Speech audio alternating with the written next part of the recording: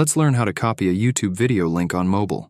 Surely there have been times when you needed a YouTube video link but didn't know how to copy it. After watching this video, you won't have that problem. The first thing you need to do is find and open the YouTube app on your phone. This tutorial works the same on both iPhone and Android. When you open YouTube, you'll be on the home page, but you don't need to be there.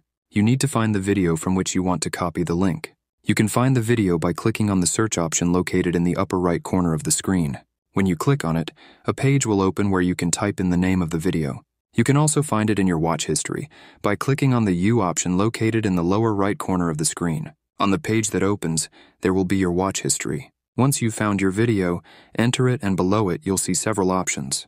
But you need one option, and that is the share option, which is located right next to the dislike option. When you click on Share, you will have options for how you want to send it, that is, through which application. But below those options, there will be a Copy Link button, and when you click on that button, you have successfully copied the YouTube video link.